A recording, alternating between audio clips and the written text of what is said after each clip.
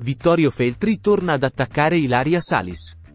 Già nelle scorse settimane non aveva digerito l'elezione al Parlamento europeo di Ilaria Salis, eletta per Alleanza Verdi-Sinistra. La sua candidatura aveva già destato molte polemiche, in vista della sua detenzione in Ungheria in attesa del processo. L'elezione a Strasburgo infatti l'ha fatta tornare in Italia grazie all'immunità parlamentare.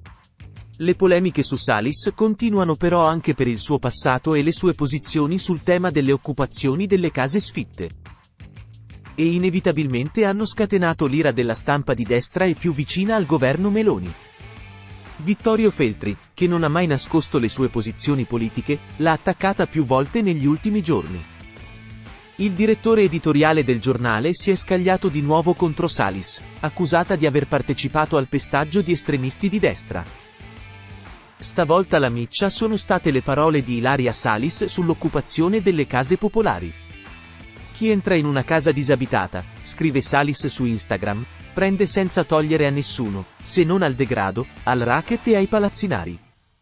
L'eurodeputata sottolinea come, a Milano le case popolari sfitte sono più di 12.000. Dunque un quinto delle case popolari non è assegnato. La risposta di Feltri non si è fatta attendere.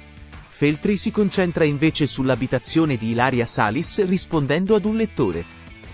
Voglio concedere a Salis il beneficio del dubbio, glielo dobbiamo. Mettiamola alla prova. Proviamo dunque a occupare la dimora monzese della famiglia Salis e vediamo se ci accoglierebbero facendoci spazio con i bagagli per lasciarci più comodi e agevolarci.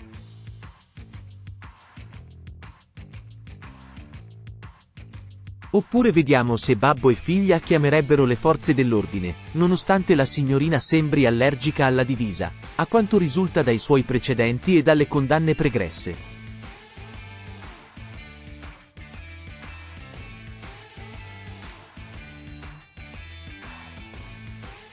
La provocazione è più che evidente.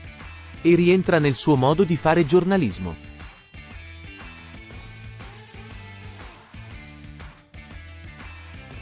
Anzi, è probabile che l'onorevole ci prenderebbe a cazzotti, pratica a cui pare incline, proprio perché per questi democratici la roba altrui si può toccare, la propria non può essere giammai sfiorata.